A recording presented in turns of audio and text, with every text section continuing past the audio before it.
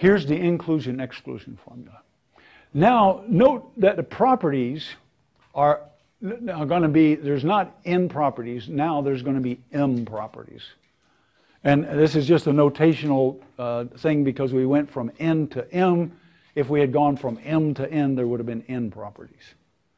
All right, so what is the property? You have functions. You have functions from the n element set to the m element set. Those are the, those are the, that's your universe. And what are your properties? Your property is that the element i is not, uh, uh, uh, it, it, if it satisfies the property, then it means i is not in the domain.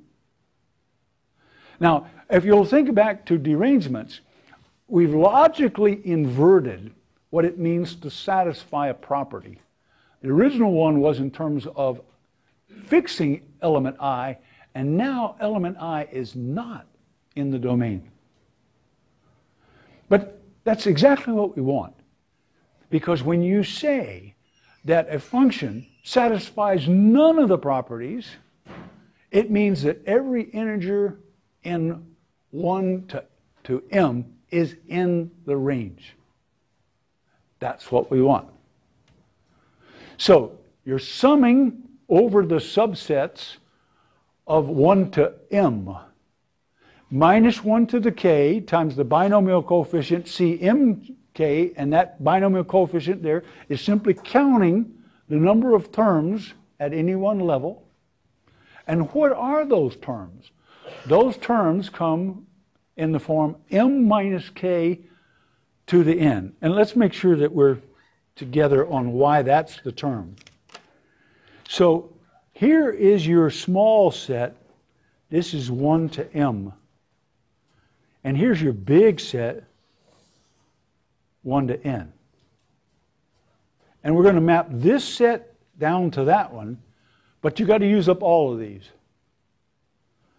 So what are we going to do? We're going to take a set, a subset, and here's your subset, and you're going to say that a function satisfies those properties when those elements are not in the domain. So how many functions satisfy all those properties? Well, you, what you're going to do is map all these guys down onto these. And if the cardinality of S is K, how many elements are in here? Well, M minus K. And so now we go back to lecture two in this course.